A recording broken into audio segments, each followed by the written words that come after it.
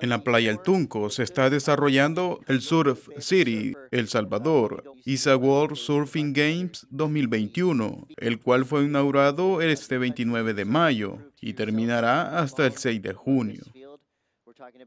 Sin embargo, la noche del viernes, militares y policías irrumpieron en las instalaciones de comercios que se encuentran a un costado y frente de la calle principal hacia la playa El Tunco.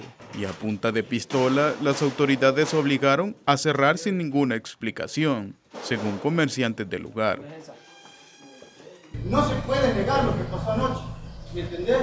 Completamente innecesario, un abuso tajante de la autoridad un comerciante de la zona fue consultado por la prensa gráfica y alegó que lo que sucedió no tiene explicaciones, ya que las autoridades no notificaron nada acerca de cerrar los negocios. Según este propietario, el único acuerdo que se llegó con el gobierno sería que durante los días de la competencia solo bajarían el volumen a la música.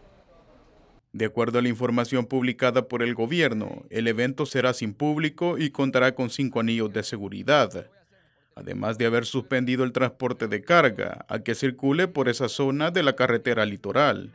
Sin embargo, el empresario dijo que la playa El Tunco sigue funcionando de manera habitual. Ese fue un informe para la prensa gráfica.com.